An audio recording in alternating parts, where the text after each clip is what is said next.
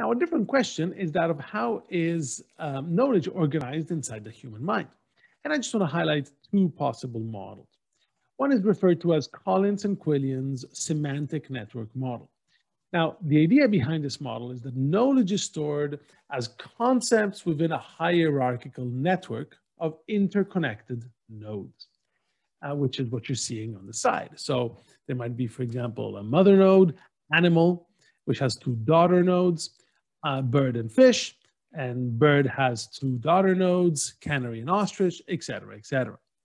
Now, this network has two important properties. One is that of property inheritance. And the idea is that each node inherits the properties of its mother node.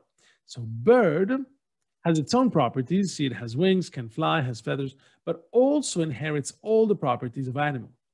So bird also has skin, can move around, eats, breathes, etc. And this leads to the idea of cognitive efficiency. We store concepts only once inside this network, and we store them at the top level. So because anything in animal will have skin, we just put that property at the top, and then it's understood that anything below that also has these, this property. Um, and of course, this setup also gives rise to, um, uh, to obvious predictions.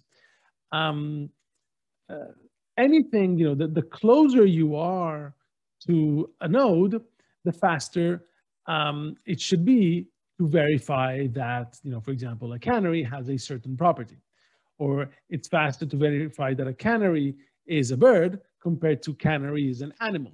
Because to verify whether canary is a bird, you just have to go from here to here. To verify whether canary is an animal, you have to cross this whole hierarchy until you get up here and verify that it's an animal. Similarly, it should be much faster for you to verify that a canary is yellow as opposed to a canary has wings. Because to verify that a canary is yellow, you have that information in the node canary right here. It's attached. It's attached to the canary. But to verify whether a canary has wings, you have to actually take a step up and find out if that is if if that property is here. In fact, if you had to verify is canary an animal or does canary uh, does a canary have skin, you'd have to cross two nodes, which would mean that you have to go further away. And that's exactly what Collins and William and uh, Quillian did to test their model. And uh, for example, participants had to verify these sentences as quickly as they could. You know, a canary is a canary, or a canary is a bird, or a canary is an animal. And indeed, as the model predicts, participants were faster at responding to, you know, canary is a bird compared to canary is an animal. Again, based on the idea, the closer they are in the network, the faster you would be to verify that property. Because you would mentally go inside this network and sort of track the things. And in order to verify that canary is a bird, you only have to take one step. Whereas to, uh, to verify canary is an animal, you'd have to take a couple steps. However, there was data also to the contrary. Rips, Shoben, and Smith in particular, they showed that actually sometimes um, participants are faster at responding to, um, at verifying um, sentences that actually unite things that are further away. For example, it turns out that participants are faster at verifying a dog is an animal compared to verifying a dog is a mammal.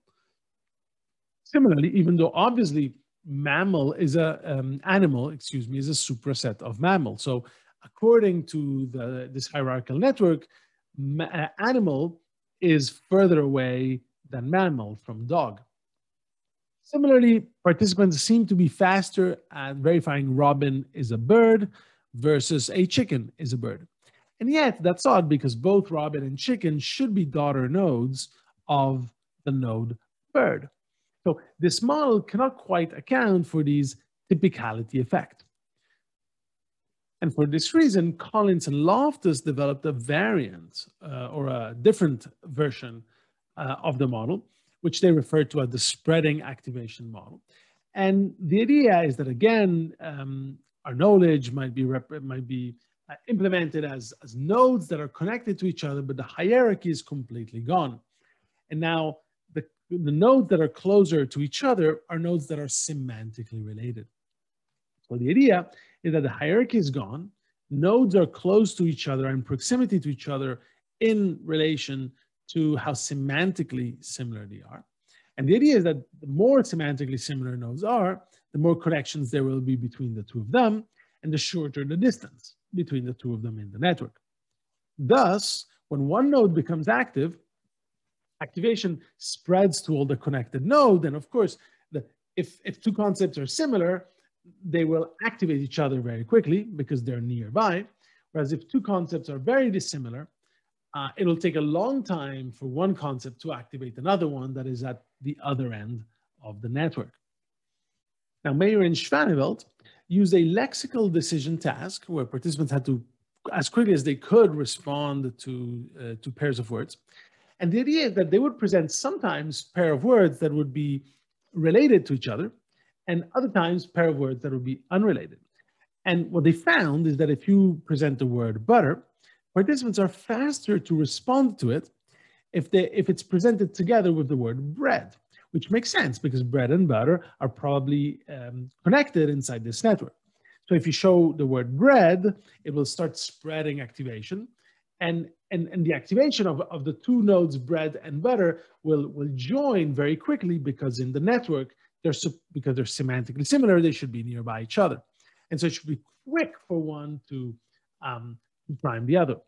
On the other hand uh, the word nurse is either unrelated or very loosely related to the word bread so there is no real spreading activation uh, between the two.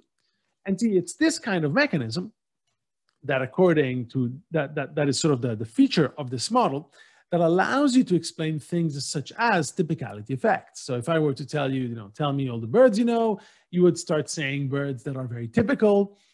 Um, and, and, you know, as you go through these typical birds, kind of each, each one activates the next one. And there's this sort of spreading activation effect. Um, and, and that is because I, as I said, concepts that are nearby um, you know, will spread, uh, the activation will spread quickly uh, and will activate these concepts in your mind. On the other hand, atypical examples will not come to mind right away because they're probably far away from, in this model, from the more typical examples. And so this type of model was conceived to explain why um, we get these type of effects that are not captured by the hierarchical model.